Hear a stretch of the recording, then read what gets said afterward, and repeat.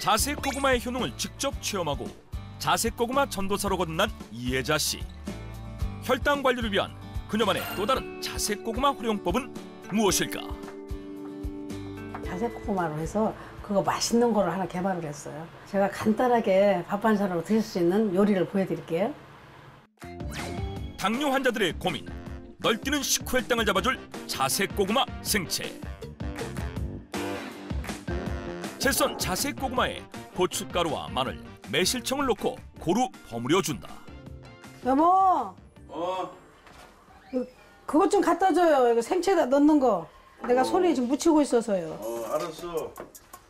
이거 씻어서 주면 되지? 네, 감사합니다. 어머니, 방금 아버님이 갖다 주신 게 뭐예요? 아유 사과예요. 생채에 사과를 넣으면 새콤달콤하고 맛있어요. 자색 고구마 생채의 비법이라는 사과. 과연 혈당 관리에 어떤 도움이 될까?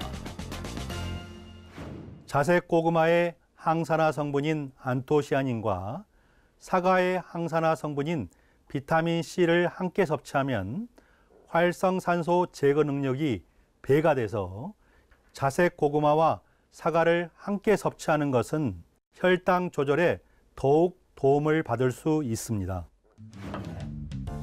자색 고구마와 찰떡궁합인 사과를 넣어 조물조물 버무려 주면 혈당 잡는 밥 반찬 자색 고구마 생채가 완성된다.